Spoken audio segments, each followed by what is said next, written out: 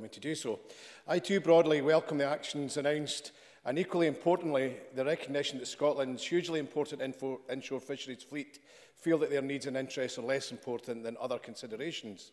What assurances can the Cabinet Secretary give hard-working fishermen in Galloway that their interests will be his government's top priority when it comes to planning activities such as offshore wind and ensure he will not allow the lights to go off in our rural coastal communities? Cabinet Secretary.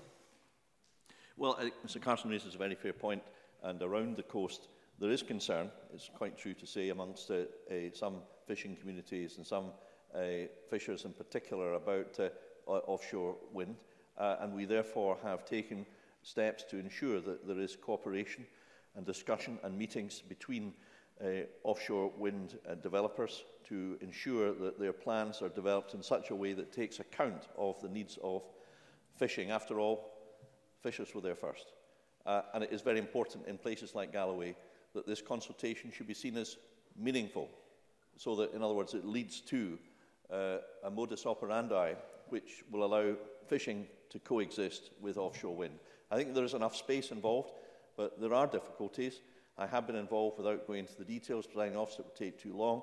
Uh, but we're well aware that this is an issue, and I'm grateful for this opportunity to reaffirm our determination to make sure that the interests of fishers are properly and fully considered in relation to offshore wind.